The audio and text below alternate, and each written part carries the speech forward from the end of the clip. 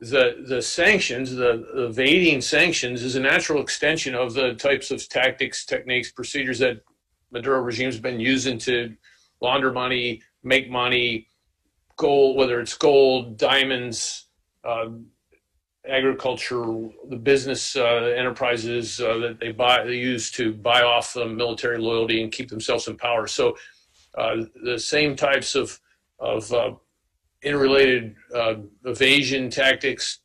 That's what they're using. Second countries, second, third countries, and uh, front companies, uh, cryptocurrency, uh, money laundering.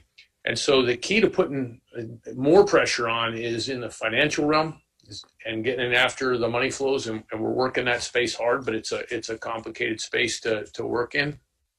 It's DoD supported and we're supporting uh, our, our colleagues across the interagency and international partners with the increased intelligence sharing. So, passing what we know about all the illicit activities, including the sanctions evasions, is very important. And where where we can uh, and where we want to, we we put that out through our diplomats in the in the public space uh, to call out the what Maduro's doing with the complicity of international actors to mortgage the future of not just Venezuela but the hemisphere. Those that strain is being felt across the hemisphere, and uh, and we see it. We see it with the uh, the um, what it's done to the economies pre-COVID, and it will only accelerate that trends as we move forward. So, it's a it's a great question.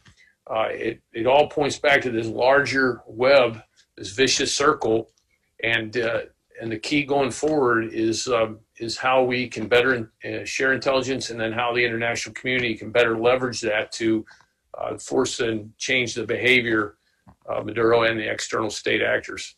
Just enough the urgency of the threat. I think every speaker here today has uh, has uh, pressed that uh, this threat to democracy, the threat to economic stability. Add COVID, and I think we'll see second and third order impacts that have uh, me deeply troubled in terms of uh, undermining stability of other nation states.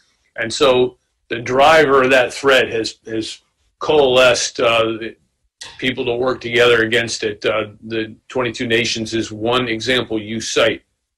I think as we look at this, and we look at important investments that we've made as a nation um, in the past, uh, U.S. Colombian Action Plan uh, is still moving forward, where Colombians are training partners across Central America uh, to conduct uh, operations against narco trafficking and terrorists. Uh, it, it's extremely beneficial.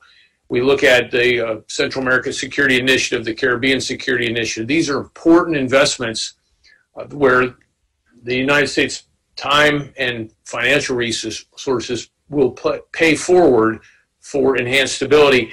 And that's part of the solution set here is making sure we have it right in those state those those investment areas to keep uh, the democracies that have made progress in Central America and South America and the Caribbean keep them moving forward against this vicious uh, circle of threats, this network that uh, Doug so aptly uh, characterized.